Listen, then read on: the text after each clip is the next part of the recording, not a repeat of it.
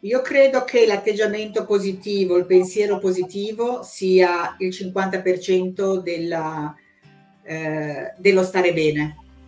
Il, io ho imparato a mm, lasciare che la vita accada. Ho imparato a vivere il qui e ora, proprio vivere alla giornata e godere proprio delle, delle piccole cose che non sono piccole cose finché non ti rendi conto che potresti non averle, come la passeggiata a lungomare, un caffè con le amiche, il um, giocare con la nipotina, um, tutte cose che diamo un po' per scontate, ma che scontate non sono per il malato che sa che non potrebbe non avere tempo.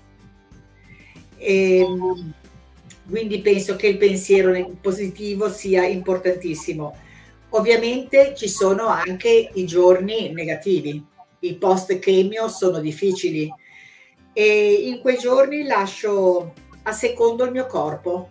Non vuole fare nulla? Non faccio nulla. Eh, mi rilasso, mi lascio, mi coccolo e mi faccio coccolare. Ho la fortuna di avere un marito meraviglioso soprannominato non a caso Santuomo, ci sarà, ci sarà un motivo.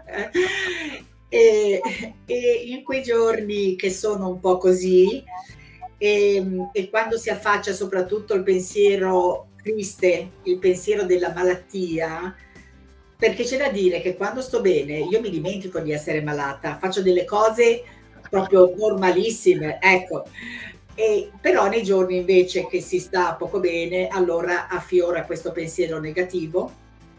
Faccio il possibile per non pensarci, per scacciarlo. È proprio mm, un, una forza che e mi, niente, mi dedico a qualche cosa, una telefonata a un'amica simpatica, un film comico, un qualche cosa che mi distolga da questo pensiero. E e poi penso che domani è un altro giorno, quindi sicuramente sarà migliore, migliore di oggi. E quindi passa la giornata negativa, la faccio passare in qualche modo. Ecco.